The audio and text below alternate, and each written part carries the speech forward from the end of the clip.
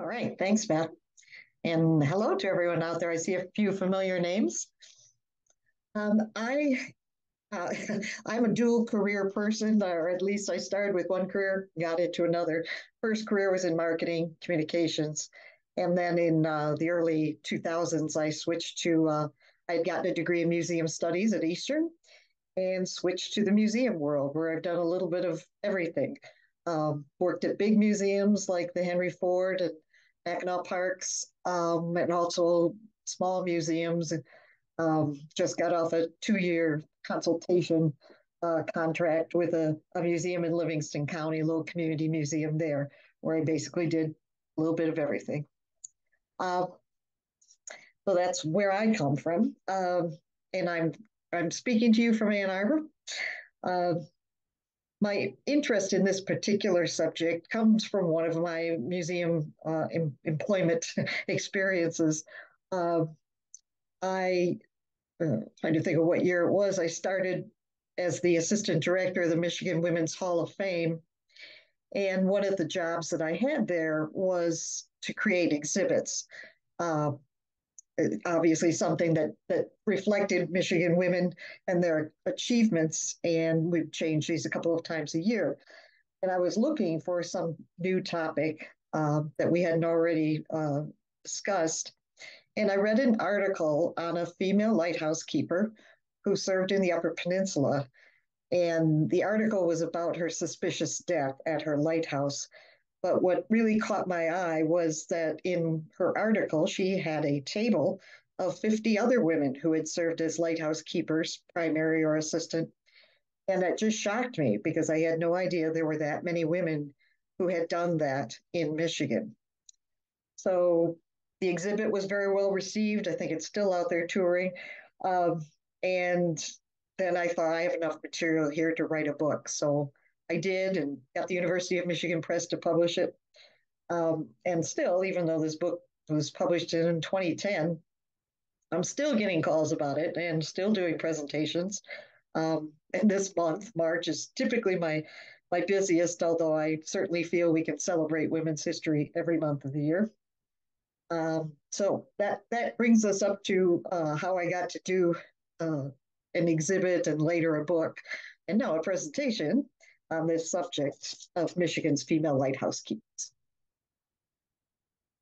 Uh, just to give you a little background, although I'm sure uh, many of you have, have great knowledge of, of lighthouse history, um, the very first lighthouse keeper in the U.S. was in on Little Brewster Island in Boston Harbor uh, in 1716. Prior to that, uh, lighthouses were non-existent the way those uh, difficult passages were marked on, on shorelines and on cliffs was to burn, just basically have a bonfire.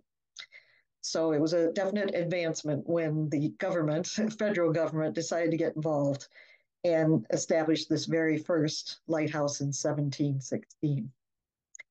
The first female keeper in uh, in the United States was Hannah Thomas, and she also served in Massachusetts.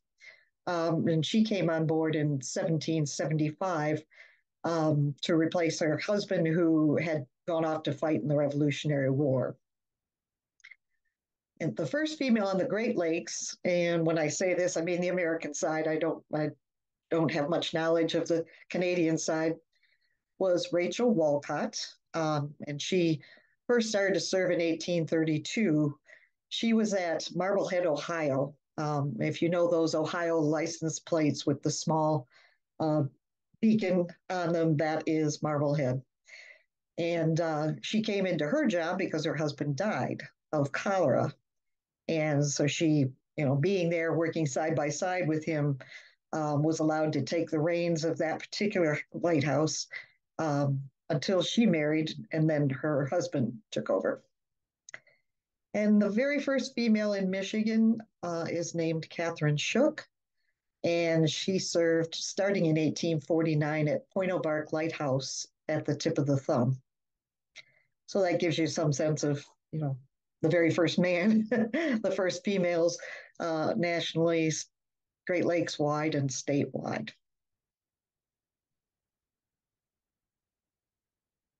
Next. Thanks. um, there were some differences in the way men and women were treated um, by the lighthouse service. Um, the the method of appointment was different. For instance, um, men received appointments sometimes as a, a sort of a spoil system uh, from from a, associating himself with a particular political party. Um, another way that men typically got in was uh, it was considered a, um, a, a position that was offered to injured men from the Civil War, which I find interesting because it's a darn hard job. So why give it to somebody who's injured? Um, whereas women came into it um, because their husband had left to, to fight in a war or their husband had died. Um, those were kind of the classic ways that women came into it. The uniform requirements were different. You've probably seen the, the men's dress uniform, the navy blue double-breasted suit and cap, matching cap. Um, the women had no requirements, um, which probably reflected the the sense of the service that they were sort of temporary fill-in. um, you know, it's not our it's not our grand plan to have men and women in the in the lighthouse service, so let's not spend time designing a uniform for them. Um, women were not allowed to serve at isolated lights, and that could be on land, but most likely on an island, um, or on light ships. Light ships are are essentially like, like it sounds, lighthouse on a ship um, that's moored over some particularly treacherous um, shoal. And those ships were staffed by four or five men. And, and I guess you can probably figure out why it wouldn't be a good idea have one woman on that. Um, the lists of responsibilities were the same, though. Um, so there wasn't any, you know, let's give a lighter workload to the women.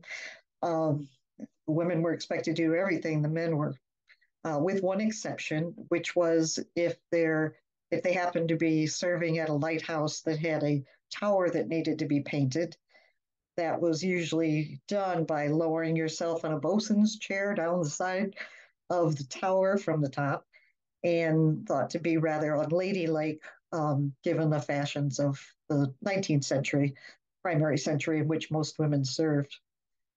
Um, and then interestingly, the salary was exactly the same. And you never got rich in the lighthouse service, but you know, at least you didn't suffer any, um, you know, whatever, any kind of um, issue between men and women uh, just because you were not a man. Next. Uh, here are some just general statistics about the Michigan women who served as lighthouse keepers. Um, they their service spanned 105 years through both the lighthouse service and into the Coast Guard era. There were 52 known female lighthouse keepers and assistant keepers in the state, more than any other state in the Union, probably because we had more lighthouses than any other state in the Union. And they served at 42 different lighthouses on Lake Huron, Michigan Superior, and in the Detroit River.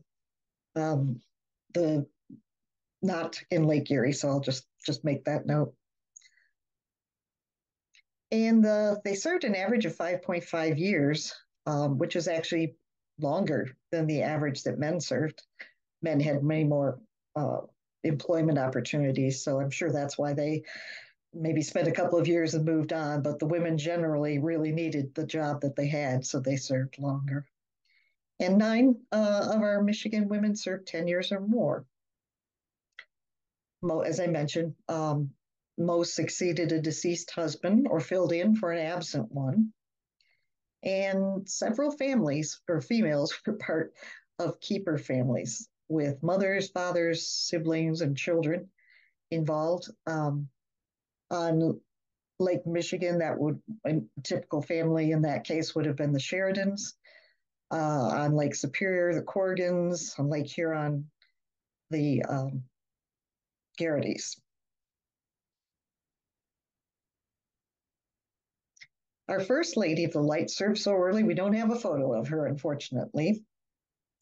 Her name was Catherine Shook, and those dates are her, in, in case of all the women to follow, birth and death dates. Uh, Catherine served at Pointe Aux Barques, took over in 1849. She and her husband had just moved there for him to take on this uh, assignment, and he had gone to down to Port Huron um, in a boat with some other people, and he drowned. So uh, suddenly she was left to raise eight children alone in the wilderness of the Thumb.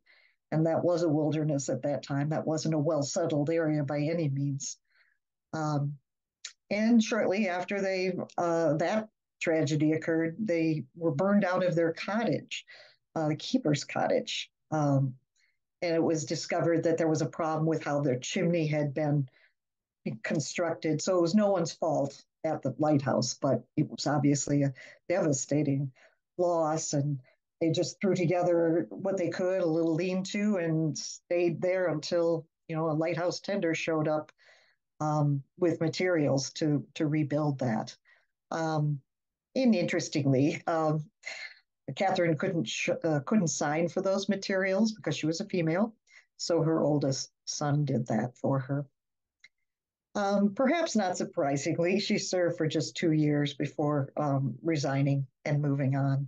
Um, but the it's interesting that she was the very first female because she's the one that, as I've encountered when I've spoken about the subject, this subject, she's the one has the most descendants, it seems, um, or people who approach me have approached me at at uh, some of my presentations and saying, you know, she was great great whatever aunt, great great grandmother. Um, and some of you probably know that one of her descendants owns Port Sanilac Light and is the head of the Michigan Lighthouse Alliance, I think it is, Conservancy, uh, Jeff Shook.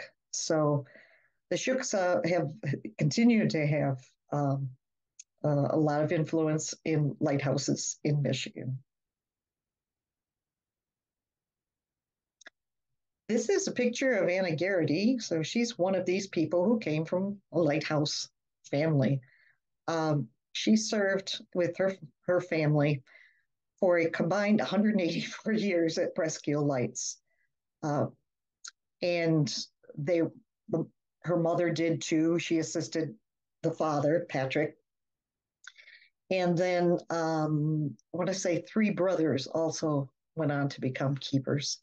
So they loved where they were up there in uh, Presqu'île, which is near Alpena, um, and just you know really um, put their name on that area. That is for sure. Um, she Anna is the only female lighthouse keeper who has a statue, and it is up at Presqu'île. Um, and she was the second longest serving woman in Michigan, 20, 23 years. sometimes when I show this picture, there's sort of a gasp at how drawn out poor Julia Braun looks. Uh, and this was obviously a picture from her older years. Uh, this is sort of the after picture of women who served as lighthouse keepers. It was, you know, it was hard work. It was hard work for men. It was hard work for women. And you just didn't have any fat on you at the end of your, your career. So that's uh, that's kind of what I think of when I see this. Julia served uh, in my hometown of Bay City on the Saginaw River Lights. And she was married to uh, one of these Civil War uh, men who had become injured in that war. Um, and after he died, while they were there, she succeeded him, and that was a, a formal appointment. Um, she was she was tasked with overseeing the construction of the existing lighthouse there. And she served as a keeper until her next marriage to a man named George Way. Um, immediately, she was demoted down to assistant keeper. And then several years later, her position was abolished altogether. Um, and then six months later was reestablished with a man. there are a number of women, as I've looked at records from uh, women in particularly in Michigan, but also extending into Wisconsin, um, a number of women who whose positions were abolished in 1882. That must have been some sort of you know policy change there, where they were actively trying to weed out the women and um, you know just for whatever reason in 1882. I call her the persevering lady because she had to she had she hung in there and got demoted steadily, but she was uh, she did a great job. No no scandals associated with Julia. And I bet you all recognize this person. Um, I, I sometimes refer to her as the rock star of Michigan female lighthouse keepers because she's the one, if you know any, she's the one you probably know or have heard of. Um, she served 41 years between, obviously, between her original um, post at Beaver Island Harbor and where you are at Little Traverse. Um, 41 years, that's longest in, in Michigan. She wasn't the longest in the Great Lakes. That honor belongs to Harriet Colfax down in Michigan City, City, Indiana. And she served for two more years, so 43. And then in uh, Biloxi, Mississippi, there was a woman who served for 51 years, which is pretty astounding. Um, but Elizabeth is, is famous for a number of reasons. She succeeded a, a deceased husband who died trying to save people um, on a shipwreck in, in uh, off Beaver Island. And she stayed there for 12 years. Um, then she remarried and requested a transfer and served there for another 29 years. Um, she wrote an autobiography, which is part of the reason for her um, her fame. Um, I always recommend this to people that they that they read it. It's it really she speaks very little of her lighthouse career. Um, she's it it it really is a, a, overarching story of her life, and she talks about being born on Mackinac Island and and um, getting married and and serving on I want to say Fox Island, if that makes any sense, in Lake Michigan um, as a teacher and she happened to be part of this family, the Whitneys, who were one of the families that was living on Beaver Island when Jesse James Strang, uh, a, a, Mormon leader, brought a group of, of uh, his followers to the island. And that was that's a whole nother story and uh, her family was involved in some issues with with him um, ultimately he kicked all the what he called Gentiles off the island, her family among them. So that was very um, uh, a very interesting chapter in her book. Um, he was later killed by some of his followers, and so the Whitneys moved back. Um, so they they made it through that, but um, but anyway, the autobiography talks about you know a, a good uh, sweep of her life. So I, I really think it's a, a, good thing to read, and she she writes very well.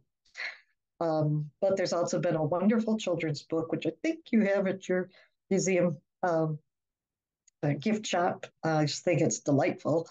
Um, there's been a play written about her, and in the sort of accepted national book on female lighthouse keepers, she has a, a chapter in there. So that's, you know, women who kept the lights by the Cliffords, mother and daughter writing duo. So that says something too if you know in a national book you're you're mentioned um, so that's why i call her the rock star and i love this photograph i just think it's so so typical of the time and and uh, would love to have seen a photo of her as a young woman maybe you have one of those in your museum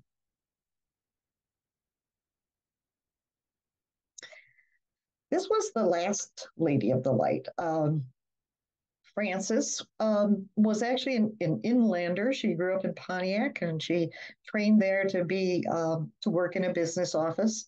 And she took a summer uh, trip to Lake Michigan. And while she was there walking the beach, she met this young man who ended up being a keeper at White River Lighthouse. And um, I think she came back and visited him a second time, and I think he came out and visited her at Pontiac um, eventually, they got married, and so then she moved to the light to assist him, so officially as an assistant. Um, was a rocky marriage, uh, very, uh, very contentious, and she was she was a very um, tenacious woman, kind of a little spitfire, and she, you know, resented the fact that he would be off hunting and fishing while she was not only doing some of the, I guess you might call housekeeping aspects of, of duties of a lighthouse keeper, but generally, you know, working all of it. Um, uh, it was something that just she really became a um, a divisive issue between the two of them, and so she divorced him. Pretty daring for the time, and uh, she served in the 40s. Um, and they ended up both leaving the lighthouse at that point. She went back to Pontiac. She missed the lighthouse desperately, and she heard that the couple that moved in after her and her husband weren't doing a good job. So she petitioned the Coast Guard, who had taken over the lighthouse service, to see if she could return. And they said yes. And they allowed her to come by herself um, without an assistant. So uh, she was, uh, it, White River is a, a, an opening channel to uh, White Lake, which is really a more of a, a vacation lake, if you will, with some fishing boats. So it was never an area of uh, heavy shipping traffic. So there weren't there there definitely was not a life saving station there. Um, but every so often, uh, someone who came out to Lake Michigan and wasn't aware of the tides would get caught um, in rip tides and would, you know, end up yelling from from wherever they were. And she was known for, you know, coming down the tower, racing across the sand, jumping into the water, and saving people. Um, she was only a, a, tiny thing. I mean, like five foot, five foot two, maybe, um, but she could swim. And um, one of the sort of celebrated stories is that she swam out to help a, woman who was panicked, so panicked, and she was a heavy set woman. And you know, Frances put her arm around her and started stroking back with the other arm. And uh, the woman just was, she was dragging them down. She couldn't calm herself. So Frances socked her in the jaw, and that stopped that. Um, and when they got to shore, that woman asked her, "Why? Why did you do that? You know, why did you hit me?" Um, and she said, "Well, if I hadn't done that, we definitely both would have gone down." So she, uh, uh, like I said, she was a, a feisty gal and, and was um, very well respected and loved in, in her area, um, which is south of Muskegon.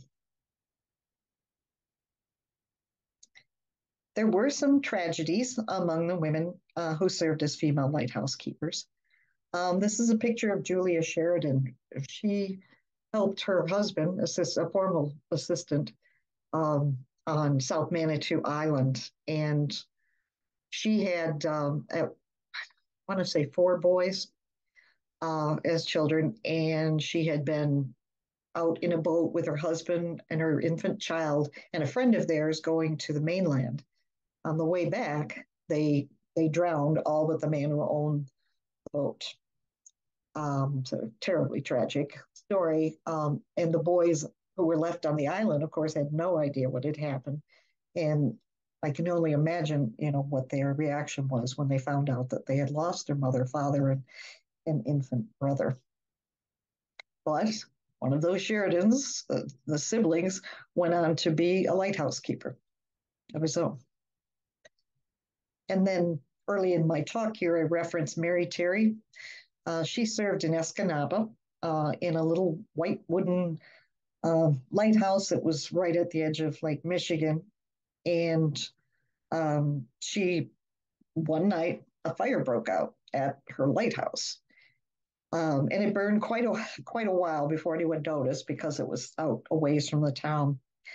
By the time they got there and daybreak had come, um, you know, the the lighthouse was just um, splintered wood, and her body was found there dead. Um, an inquiry was then called into what happened. Is this a crime? Is it a fire to cover up a crime? You know, what happened exactly? Um, what was known was that Mary Terry was very frugal with her money and owned some property uh, in Escanaba.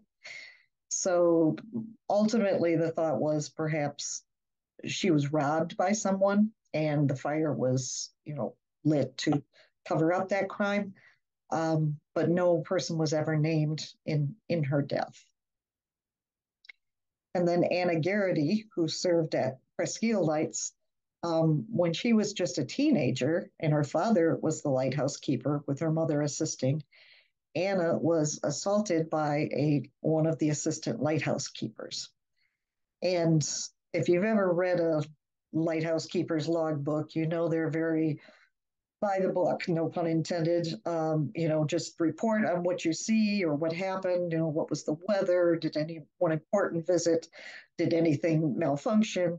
Um, but the day that this occurred to Anna, her father wrote, My daughter was raped by this person.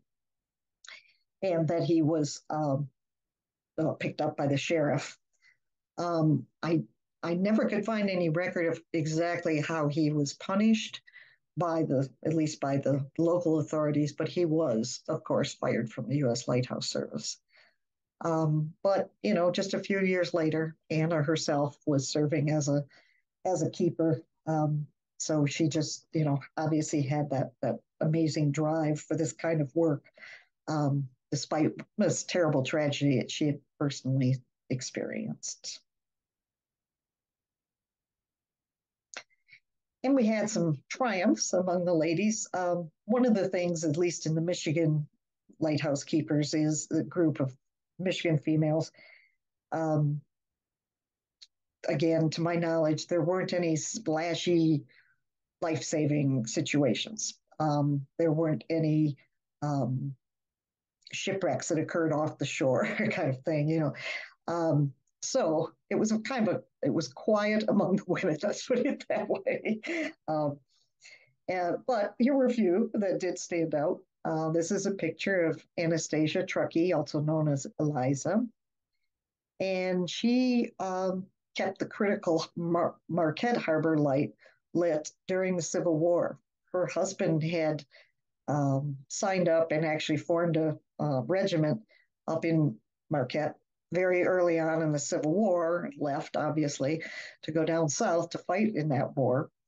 Um, and while he was gone, she kept the light lit and there were no issues about any you know ships running aground coming in or out of the harbor um, but particularly that was an important assignment because that was a place where the iron ore was coming you know down to the to the shoreline to be taken away to be made into all kinds of armaments whether it was cannonballs or you know rifle stocks or something uh, barrels um, they you know this iron ore supply had to come and it had to come through there. And so she made sure that that lighthouse was always lit and that there were no no problems with the um, freighters that came to pick it up. Obviously, Elizabeth Whitney Williams was the first keeper at a new light, which I've read was a um, an honor. You know, that was a sign of someone who had served a good long time and you know had not um, not been reprimanded and had a good reputation um, among the mariners that passed through. So that was uh, a wonderful honor for her. And then two of the women uh, in Michigan were, were able to manage male assistants. That was a rarity. Um, Jane Enos at St. Joseph, and again, Anna Garrity at Presqu'île.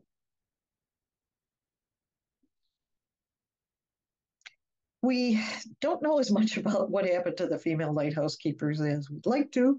Um, uh, here are a couple that we do know something about, though. The, the woman pictured here, Caroline Litogot Antaya.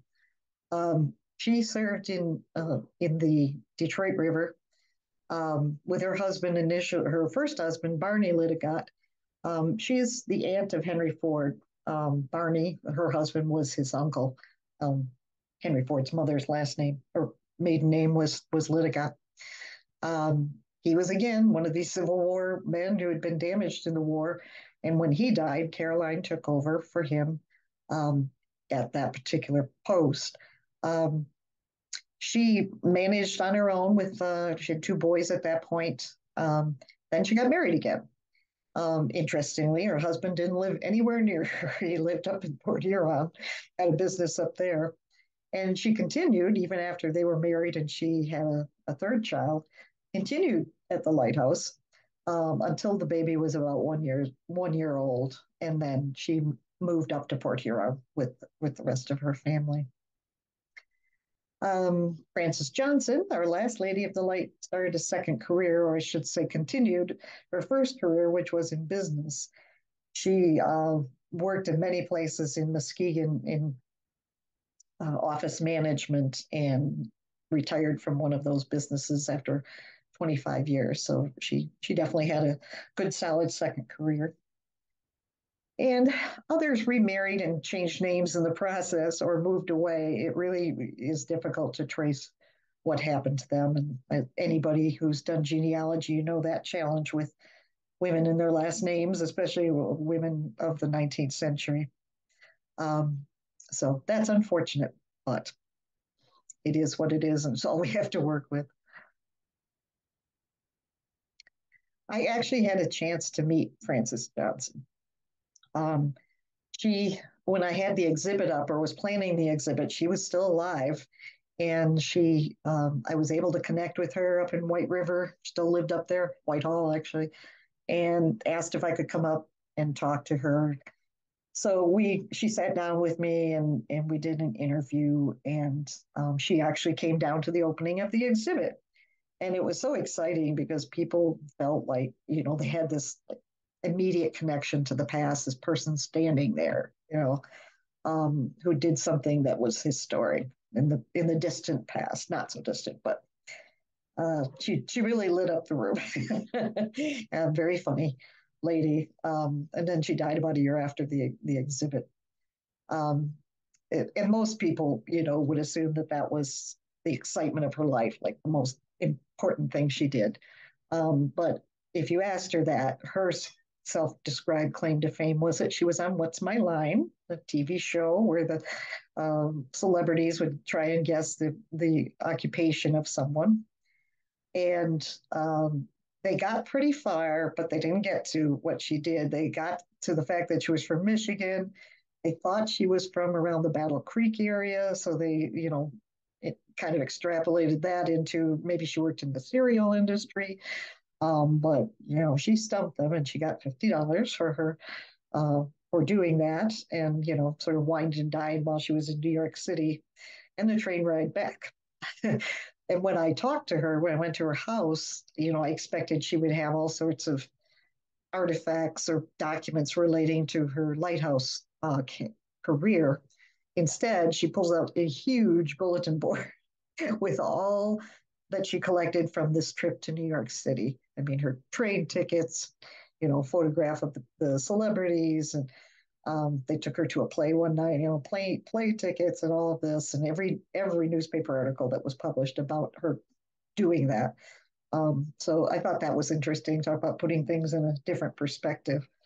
Um, and at the end of the the interview um, that I conducted with her, which by the way is in the book, um, I you know, after we kind of laughed about this, that, you know, she thought that that this was her biggest accomplishment was going on What's My Line. I kind of pressed her a little bit more and just said, you know, what, but you know, you know, you were an important figure. You were, and certainly as the last figure in this legacy of female lighthouse keepers. Um, you know, what what do you think about that? Uh, you know, people talk about you because of these things, and and she said, Well, I don't know. I don't know. I hate to talk about myself. I, I just had fun. That's all I cared about. So but that was a um, kind of fitting ending to the story, not only of her, but of Michigan's female lighthouse keepers. So that's the end of my presentation. I'd be happy to answer any questions. All right. Thank you so much, Patricia. That was lovely. I I definitely think I'm going to have to buy the book now. I may have been sneaking peeks while I was sitting downstairs at the front desk, um, but I know I have so many questions about the lives of these different women, um, and I can't wait to read about them. Um, there are, let's see, there are a couple of questions that people have messaged me. If you have any others, um, uh, attendees, please let me know. Uh, this one is Oh, uh, which female lighthouse keeper is your favorite and mm. why? Well, I'm of course partial to Julia Braun because she served where where I grew up, and I thought she had kind of gotten the short end of the stick with getting steadily demoted. But um, but other than that, I don't know. I might say Mary, or excuse me, Anna Garrity, um, just because of you know the amazing start she had, negative start um, in lighthouse keeping, but you know she persevered and and went on to serve you know second longest period in in our, our state's history. So I just thought, you know, that's amazing what she went through and still came out on top. Gotcha. Um, this one, uh, it said you mentioned that you the exhibit that you put together, you think it's still traveling or still, or is it still in the, location where you first displayed it? I think this person might be interested in seeing it. Yeah. Um, actually, let's see, what time of the I want to say sometime last year. I can't remember quite what time of the year it was. It was in St. Joseph, and I went there to speak about um, about my book. Um, so I know it was there just last year. Um, yeah, and, and the it's a little tricky. You can rent it, but um, the Michigan Women's Hall of Fame, as some people probably know, um, is uh, it's kind of it's sad. It's not kind of sad. It's sad um, it had, it was taken over by a different group, and they moved it to an office building in downtown Lansing, and it's in the basement of this building. And to my knowledge, it's it's simply the um, the panels that were part of the Hall of Fame. It wasn't, you know, the exhibits that were done um, periodically too. So, um, so I honestly don't know if you can see um, any that my exhibit or any other one in that building now, but they are um, they are definitely rentable through Michigan Women Forward. I think is the name of the organization now. So, yeah. Well, thank you. That's good to know. I'll, tuck that away in case I need to know that. Um, let's see. Uh, oh, a couple more questions here what advice or mentoring do you think these ladies would want to share with the young women of today? Good question. Well, um, I didn't mention this in a slide, but many of the female lighthouse keepers had many children. it wasn't uncommon to have seven, eight, more. Um, so I, I, think a good lesson was, you know, many hands make light work. don't don't refuse any help that comes your way of that kind of thing. And um, and also, you know, these women like today, you know, were juggling ra- raising their kids and schooling their kids. You know, if they were at a remote lighthouse, um, literally, it was a homeschooling situation. And uh, the lighthouse service helped a bit by providing a, a, traveling box of books that would come periodically on the lighthouse tenders, um, so that you know there could be some some formal lesson lesson uh, given out to, to the kids. So you know, there they were juggling their important job and and trying to uh, you know not not only you know get their kids dressed up and off to school, they were school.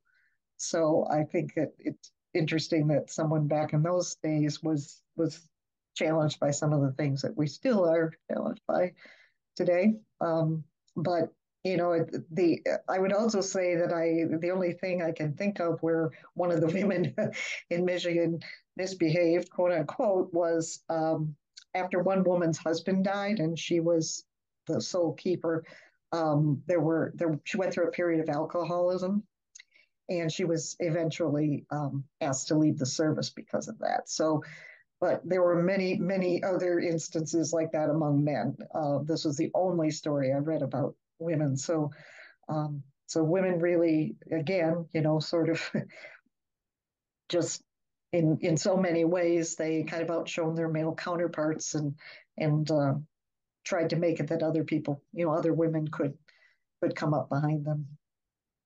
Yeah, definitely a, a lot to be learned about perseverance and about uh, work life balance uh, mm-hmm. from those types of women. Um, let's see, there's another question about do you still write anymore or do exhibits? Would you write another book? What's your I, I, interest? Yeah, I've written three other books actually since then. Oh. Um, one of the stories in in the Light Ladies of the Lights book, which was about generally about lighthouse families and, and the children and, and such. Um, in my book I included was about a, young woman who um, saved a man's life in the Detroit River. And the young woman, and I mean young, like 13, um, she was the daughter of a lighthouse keeper. And so she rode out a mile to find this man and, and you know, rode back with him. And, and she actually was awarded one of the two formal um, medals that you can receive in the United States, even to this day, for life saving. Um, so I just thought that was such a wonderful story. Um, so that got me thinking about, you know, so often children, um, when they're looking for a biography to read, it's usually about an adult. but you know, what what can we say about kids? You know, how what stories do kids have that uh, show that they were, you know, just really strong and innovative and driven even as children. Um, so I started doing research on that topic and came up with many, many girls that I could choose from to put in this book, which ended up being a chapter book of 20 mini biographies. Um, and it was it was easy enough for if I'd wanted to do a book just on children and girls in the arts, like dance or you know music or theater, that would have been easy, or, or athletics, because obviously in athletics you start very early. Um, but I wanted it to be a broad broad-based book for anybody who might pick it up and think, oh, look, there's somebody in here who, you know, was a whatever, a horse, a jockey, you know, or uh, something that, you know, something that would be different, or maybe something that resonated with them. So um, that book came out in 2015. And then um, it's called Great Girls in Michigan History. And then as I toured around with that, I got a lot of questions from little boys in classrooms saying, when are you going to do one on boys? So I I did that one that came out in 2018. So same same kind of format. Um, that's Bold Boys in Michigan History. Um, and those are both published by Wayne State University Press. And then uh, on an unrelated topic, but but one that I have an interest in, um, I wrote a tour guide, uh, travel book, if you will, to the town that I live in now, which is Ann Arbor, because I've lived here for decades. And I had been up at Mackinac Island just shopping in their little island bookstore and had seen a, a book series that was titled 100 Things to Do in, fill in the city name, before you die and one was on Mackinac Island. And um, I thought, you know, I could write one of those about Ann Arbor, I'm pretty sure. And uh, so I pitched that idea to the publisher of this series. And so now I have a, a travel guide out 100 things to do before you die in Ann Arbor. You know, so that just came out. And, oh, yes, that came out at the beginning of the pandemic. Really bad time to, uh, you know, introduce a book about, about travel, which nobody could do. But anyway, it was fun to uh, to write about, fun to research, and uh, hope people feel it's useful. Do you think you'll write about any uh, women lighthouse keepers again? Do a deep dive into any of their lives, especially the one you mentioned, who's uh, from your hometown? Um, probably not, because uh, Dianna Stampfler, I see she's here too. You know, she's written about these too. There, there isn't a lot of depth of information about any of these women, probably with the exception of of Elizabeth Whitney Williams. Um, so yeah, it would be super challenging. I, I focus on I think 15 women in the book, and and then you know write generally about um, female lighthouse keepers, and those 15 are the ones that I had the most information on. Right. So unfortunately, I don't think I could do a deep dive um, on that. Um, but I'm always looking for book ideas, and I'm sort of semi-retired now, so I have a little more time on my hands to to devote to a, a new book. All right. Um, I don't think I see any more any more questions actually i'll give people another minute to see if they want anything uh, anything else that they'd like to say um, but uh, before we wrap up here i will just remind everyone that uh, patricia's book Ladies of the Lights is available in the museum store. I put a link to our online store at the very beginning of the chat. Um, so you can uh, take a take an opportunity to really read about some of these um, lovely and inspirational women. Um, even though Women's History Month is at an end, it, like like Patricia said, it doesn't mean we can't celebrate uh, Michigan's uh, female lighthouse keepers the rest of the year. Um, so I I do believe uh, that we are all uh, all finished. Thank you all so much for joining us. Uh, a recording of this lecture will be provided um, within the next couple of days. As soon as I can get it edited, it'll be emailed to all of you um, and to the participants who registered and couldn't join us. Uh, hopefully, we'll see you at some of our next lectures. Thank you again so much for joining us, and thank you, Patricia, for presenting for us. Uh, and you. hopefully, we'll see you all again soon. Bye bye. All right. Have a great night, everybody.